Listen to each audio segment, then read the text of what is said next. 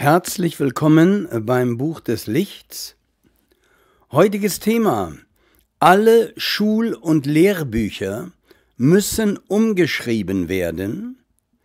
Die Thesen, die bis heute gelehrt werden, an Schulen und Universitäten, den Ursprung zum Beispiel der Tiere betreffend, bleiben wir mal nur bei den Tieren, sagen wir mal noch nicht zum Ursprung des Menschen, den Ursprung der Tiere betreffend, alle diese Thesen sind völlig falsch und nicht das Papier wert, auf dem sie gedruckt wurden.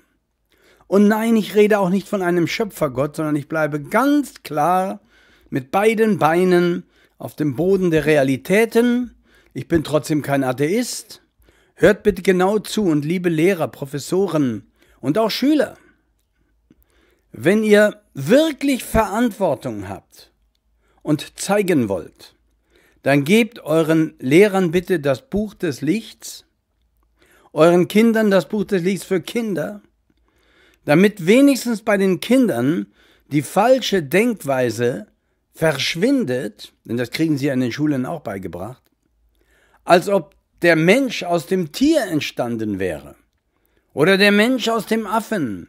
Das ist ein völliger Unsinn und ja, wenn man überhaupt demonstrieren sollte gegen irgendwas, sage ich immer, dann bitte zunächst mal alle Schulen und Lehrbücher, alle Schulbücher und Lehrbücher verbrennen. Das wäre eine Bücherverbrennung, die wohltuend ist.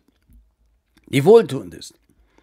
Und sich dem Buch des Lichts zuwenden, welches lehrt, alle Tiere, auch der Affe, stammen vom Menschen ab.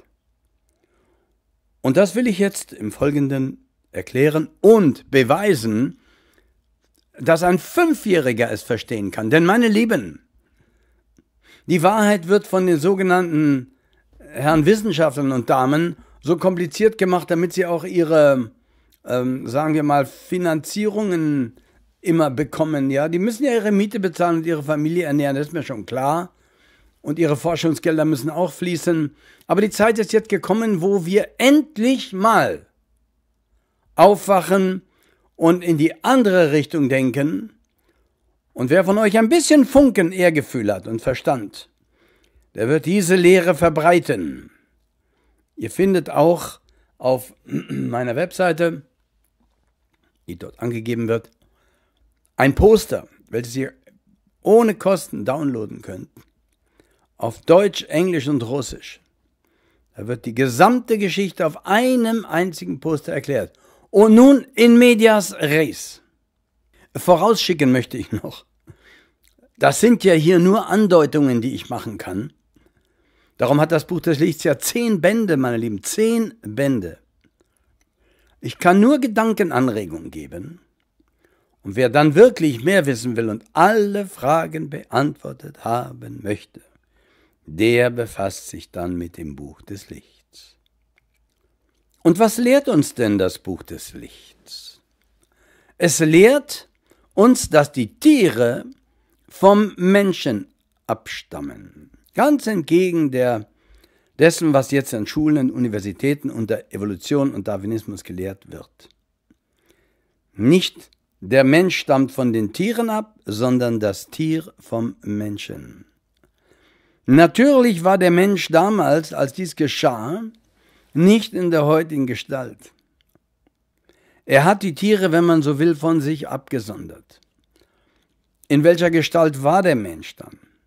Das Buch des Liest lehrt grundsätzlich, vor der physischen Evolution gab es eine geistig-feinstoffliche, sich dann verdichtend und wir sind wieder auf dem aufsteigenden Bogen zurück zur geistigen Quelle, Radioaktivität, wird dazu führen, auch dass die Formen immer feiner, immer vergeistigter, immer durchsichtiger werden. So, das jetzt mal vorausgesetzt. Und natürlich wird das, allein wenn man sich damit befassen will, muss man einen ganzen Band lesen. Ja, meine Lieben, hier werden doch keine Grimms Märchen erzählt, sondern hier geht es zur Sache.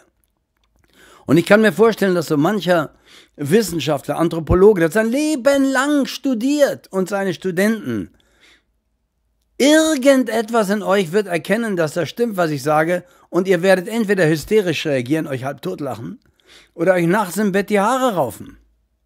Aber es ist noch nicht zu spät, meine Lieben, es ist noch nicht zu spät. So. Also, Die Tiere stammen vom Menschen ab. Das war zu einer Zeit, meine Lieben, als die Menschen noch feinstofflich protoplasmisch waren, geschlechtslos androgyn, wenn man so will, haben sie Substanz von sich abgeschieden. Warum? Warum? Warum? Um das Höhere zu werden, muss man das Niedere abstoßen. Sie haben das Tierreich buchstäblich ausgeschieden von ihren Strukturen. Nicht auf einmal, pari passu, also durch die, durch die Millionen Jahre hindurch. Die Menschen haben erst abgeschieden die Urahnen der Fische, was sich später entwickelte, dann diese Substanz, die selber noch androgyn war, entwickelte sich später zu den Strukturen. Und die Tiere, die Säugetiere, wenn wir sagen, auch vor allem, teilten sich vor, vor 25 Millionen Jahren in, in, in die Geschlechter, die Menschen vor etwa 18 Millionen Jahren. Aber davor waren die Strukturen androgyn, feinstofflich, äh, protoplasmisch, kann man sagen dann. Zunächst stieß der Mensch die Fische ab. Wir werden später erfahren, dass das die wahre Bedeutung vom Fischezeitalter unter anderem ist. Dass es auch damals gab und dass es heute gibt. Die Sternkreiszeichen sind nach diesem Ausscheidungsvorgang benannt. Meine Lieben! Ehre sei dem Buch des Lichts. Der Mensch stieß zuerst, der androgyne, protoplasmische Mensch, stieß Substanzen ab, die sich entwickelten zu den Urahnen der späteren Fische. Dann stieß er als nächste Stufe Substanzen ab, die sich entwickelten zu den Reptilien, zu den Urahnen der Reptilien von heute, den Amphibien. Dann stieß er Substanz ab, zum Beispiel von der Lungensubstanz, so lädt das Buch des Lichts. Ja, die Vögel entstammen der Lungensubstanz des Menschen. Ja, bitte. Dann stieß er die Vögel ab. Diese protoplasmische Struktur, wie hat er sich entwickelt? Angetrieben von Monaden, von Wesenheiten, von Gottesfunken, die diesen Prozess dann in Gang gebracht haben. Also wir sind hier keine Atheisten oder sowas, das werdet ihr auch noch sehen.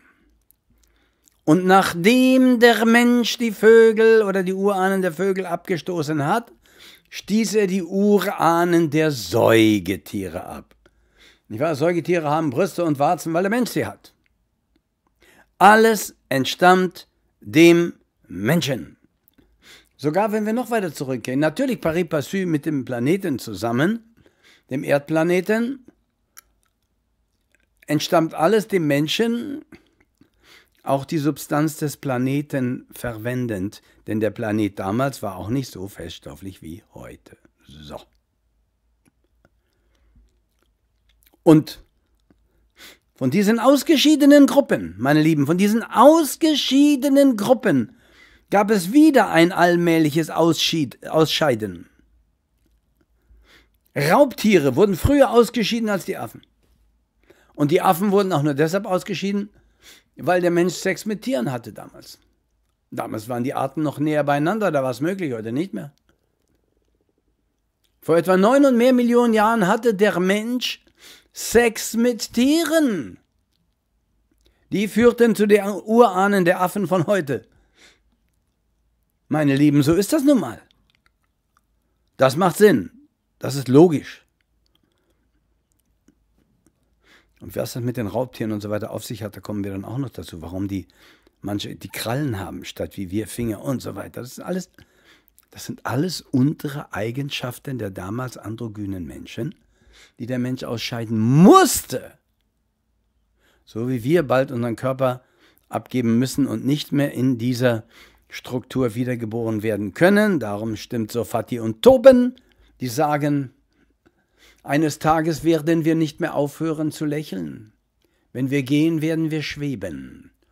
Und Licht wird aus unseren Augen brechen. Meine Lieben, das ist der Mensch der Zukunft. Haftet euch nicht zu sehr an diesem ganzen Quatsch hier.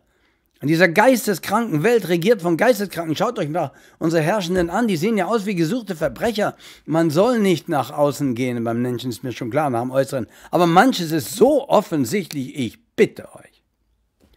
So, nachdem ich wieder mal einen Fehler begangen habe, nämlich ausschweife, wurde ähm, ausgeschweift, aber ein bisschen ähm, komme ich zurück zum Thema.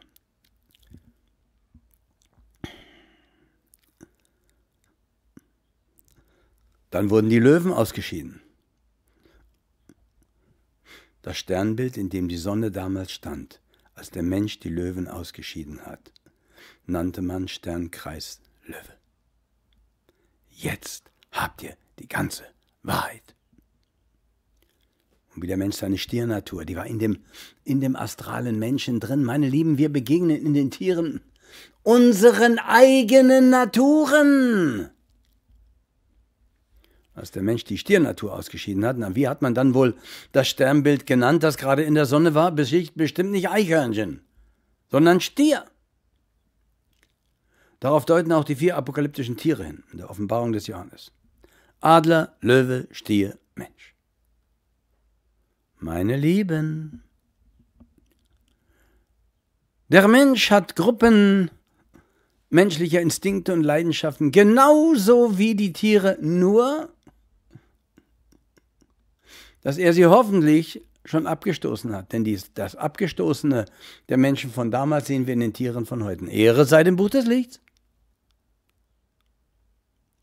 Liebe Zoologen, die Kinder sind doch im Zoo. Zeigt den Kindern mal oder erklärt den Kindern das mal. Ich werde, glaube ich, in Auftrag geben, jetzt endlich eine große, ähm, eine große Skulptur die Menschen damals waren 10, 15, 20 Meter und höher, diese Strukturen, als sie die Urahnen der Säugetiere von heute und der Tiere von heute abstießen. Einige Monaden kamen auch von anderen Planeten, aber das hat nichts damit zu tun. Das ist jetzt ja mal diese Sache, wie sie sich hier darstellt. Die verhärtete Natur des Menschen die damals noch feinstofflich war, wurde ausgeschieden, hat sich dann verhärtet in den Krallen und Hufen und all diesen Dingen. Und wie Menschen reinkarnieren, reinkarnieren selbstverständlich auch Tiere. Warum frisst ein Löwe, ein wilder Löwe, äh, ein kleines Reh, das ihm nichts getan hat? Meine Lieben, ich bitte euch. Ein Reh, das von Kräutern lebt und von Gras und so weiter. Ja? Der Löwe ist nicht immer Löwe und das Reh nicht immer Reh. Auch da wird Karma wohltuend sich zur Verfeinerung der Formen hin bewegen. Und dann sind die Tiere bzw. die Wesenheiten innerhalb der Tiere wieder bereit, oder was heißt wieder, bereit für das Menschenreich. Meine Lieben, wetten, dass bis jetzt an dem Punkt kein Biologe, Archäologe, Anthropologe mehr zuhört? Ich würde mir wünschen, doch. Wacht doch endlich auf! Macht das Buch des Lichts als Pflichtlektüre an Schulen und Universitäten. Könnt ihr mich hören? Nun, wenn die Menschen alle Tiernatur abgestoßen haben, warum benehmen sie sich heute immer noch wie die Tiere? Ja, weil sie wahrscheinlich nicht alles abgestoßen haben und weil sie das Denken, angefacht von Dämonen, dazu verwenden, anderen Leid zuzufügen. Was ein Tier also per se, das vom Menschen abstammt, noch relativ unbewusst tut, das macht der Mensch ganz bewusst. Umso schlimmer ist das ja, meine Lieben. Und wer nun einwenden mag, ja, das Tierkreiszeichen der Fische gibt es doch erst jetzt, also müsste der Mensch jetzt die Fische abgestoßen haben oder beziehungsweise in den letzten 2000 Jahren. Das stimmt natürlich nicht, mein Lieben, sondern diese Tierkreiszeichen sind von ganz besonderer Natur. Und wenn wir heute sagen Fische und so weiter, dann ist das ein überliefernder, ein überlieferter Begriff und deshalb muss ich mal ein bisschen auf die Tierkreiszeichen eingehen. Das sind also zwölf. Und äh, die gliedern den Tierkreis ein, diese Tierkreiszeichen. Ja? in zwölf Abschnitte. Und Namensgebung war vor etwa 2500 Jahren erst. Aber das hat nichts, ändert nichts daran, dass zu der Zeit, als der Mensch die Fische abschießt, das in einer Konstellation geschah, wo eben die Sonne in so einem Kreiszeichen war. Ja? Und wer von euch weiß, was eine Präzession ist, die bald kommen wird und endlich mal die satanischen pädophilen Politiker, Banker und Priester von der Fläche fe fegen wird, diese ganzen Soros-Satanisten, äh, ja? Die Erde wird ihre Achse ändern. Das bedeutet Präzision, mein Lieben. Unter anderem. Unter anderem. Da verschieben sich die Tierkreiszeichen gegenüber den Sternbildern um jeweils ein ganzes Zeichen. Und wir haben darüber gesprochen, mit dem Atem, was mit dem Atem zu tun hat. Nach 25.920 Jahren ist immer ein neuer Zustand, ursprünglicher Zustand wiederhergestellt. Ja? 25.920 Mal atmet der Mensch am Tag. Ja? Und so viele Tage wird er alt. Im Schnitt. Denkt mal drüber nach. Aber die abendländische Astrologie und auch die tropischen, die orientieren sich eben am Verlauf des Jahres. Und trotz der Verschiebung gegenüber den äh, Sternbildern rechnen die weiter mit dem ursprünglichen System der Tierkreiszeichen. Aber in Wirklichkeit beginnt der tropische Tierkreis mit dem Frühlingspunkt. Der ist unveränderlich mit dem Beginn des Tierkreiszeichens Witter gleichgesetzt.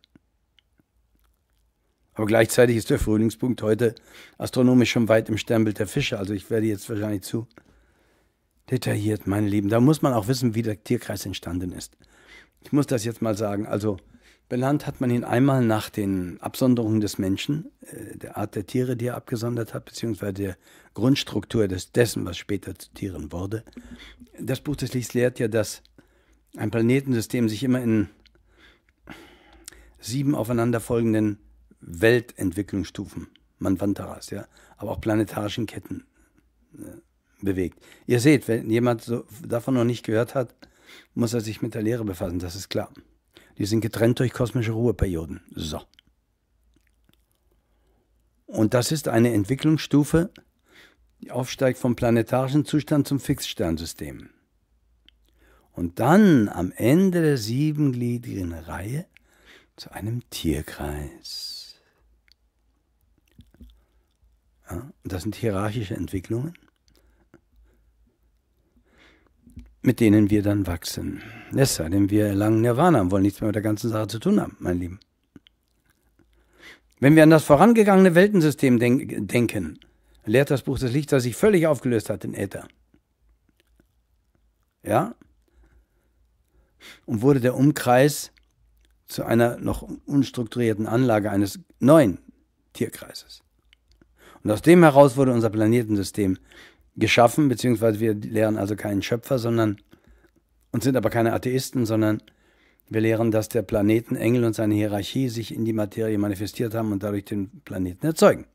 Dann steigen die Menschen von einem Planeten zum anderen und der Planet, den sie verlassen haben, wird zum Mond des Neuen. Darum ist der Mond älter als die Erde und die Mutter der Erde. Wer es zu fassen vermag, mein liebender Fasser, ist ich bin jetzt mal schon fast unerlaubt tief gegangen. Den Rest müsst ihr natürlich machen, wenn ihr da euch damit befasst. Und ihr müsst sehen, meine Lieben, dass es einen Zusammenhang des Tierkreises mit der Entwicklung des Menschen und der Tierwelt geht. Mit Menschen meine ich auch den beginnenden Menschen. Ja? Schaut mal. Ich gehe jetzt trotzdem mal so tief, ist egal.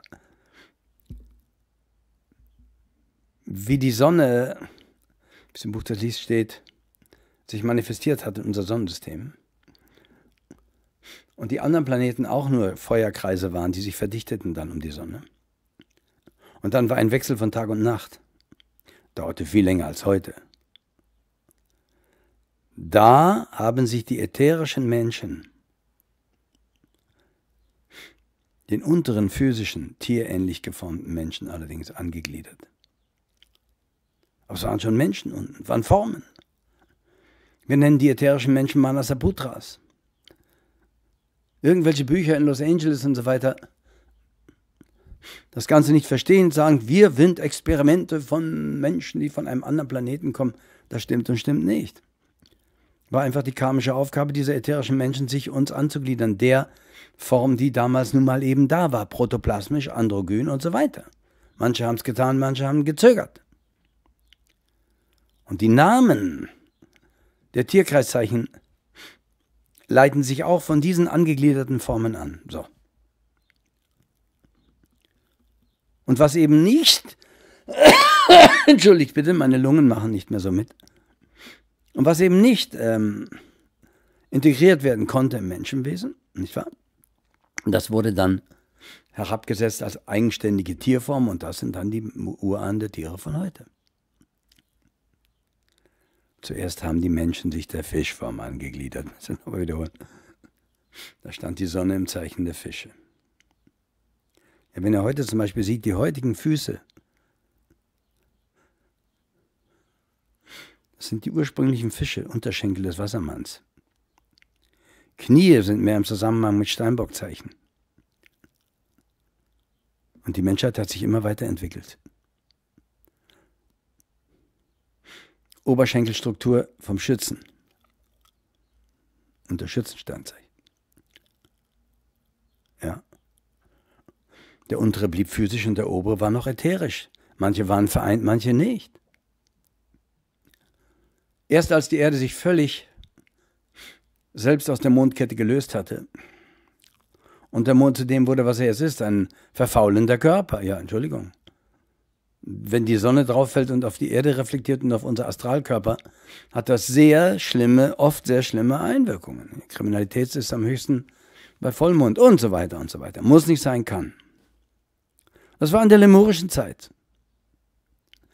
Da hat sich die Geschlechtlichkeit des Menschen herausgebildet. Und die Sonne war damals im Zeichen des Skorpions. So. Die, der, die Menschen, also die, die ätherischen Lichtgestalten, wurden zunächst ein Wärmewahrnehmungsorgan. Und so öffneten sich die Sinne nach außen. Nicht? Griechische Mythologie, Polypenauge und so weiter. Also alles hat alles seinen Sinn. Der Mensch war bis zur Mitte physisch ausgebildet, aber Sonne und Mond hat die Waage gehalten. Daher Hüfte, Bildung von Menschen. Zeichen der Waage. Da stand die Sonne damals gerade. Das war in der Mitte der atlantischen Zeit, vor einigen Millionen Jahren. Und das ist eine Entwicklung, die viele Jahre gebraucht hat. Jetzt äh, stellt euch das bitte nicht so vor, als wenn bei einem Durchgang, dass das geschieht mit einem Durchgang der Sonne, natürlich nicht. Die Sonne geht ja einmal ganz herum im Tierkreis, ja? Und nach dem ganzen Umlauf geschieht der Fortschritt. Die musste in früheren Zeiten noch öfter umlaufen, bis solch ein Fortschritt geschah. Und darum darf man eben das von heute, was heute ist, nicht äh, für die atlantischen Epochen rechnen. Und natürlich gab es auch ein Urbild des irdischen Menschen. Ja? Der Mensch ist Mikrokosmos. Adam Katmon.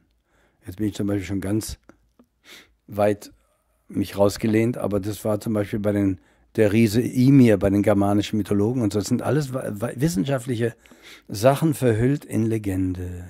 Ja. Es gibt nur einen Menschen im ganzen Universum. Der heißt Adam Kadmon und auf seinen Atomen und Molekülen leben wir. Die Kräfte des Planetensystems sind die inneren Organe dieses Menschen. Die Sonnenkräfte, alle, nicht nur die eine Sonne hier, sind das Herz dieses Menschen. Merkur ist die Lunge und so weiter und so weiter und so weiter, die merkurischen Kräfte. Und darum entsprechen die zwölf Sinne des Menschen den zwölf Tierkreiszeichen. Und darum ist zum Beispiel der Kopf und die Sinne, die Gehirnnerven, gibt zwölf Paar Gehirnnerven, wandeln ein Kraftsystem um des Leibes. Umwandlung des Kraftsystems des Leibes. von der vorherigen Inkarnation. Die Arme werden sich irgendwann, beziehungsweise entwickelten sich auch da, zum Sprachsinn und die Knie zum Tastsinn. Wer hat mich verstanden, meine Lieben? Und nun werde ich euch sagen, wie die Sternzeichen verbunden sind mit eurem Körper. Widder im Kopf, Aufrechtheit. Kehlkopf, Stier, Nacken, Hinordnung zur Tonbildung. Arme, Hände, Symmetrie, Zwillinge. Brustkorb, Lunge, Rippe, Atmung, Krebs. Löwe, Herz. Daraufhin wirkt das, äh, der Sternkreiszeichen Löwe aufs Herz. Jungfrau, Brauch, innere leibliche Beziehung. Leber, Milz, Verdauungsorgane. Dann haben wir die Waage. Die muss ja auf die Hüfte Einwirkung haben, weil da ist ja die Gleichgewichtslage. Und auf die Nieren. Skorpion, meine Lieben, wenn die Menschen sich geteilt haben in Männer und Frauen, Geschlechtsorgane, Gebärmutter. Oberschenkel sind beeinflusst und repräsentiert vom Schützen. Knie vom Steinbock. Unterschenkel vom Wassermann und Füße von den Fischen, meine Lieben. So sieht das aus mit dem Ursprung der Tiere. Und so sieht es aus mit der Einwirkung der Sternkreiszeichen auf den Menschen.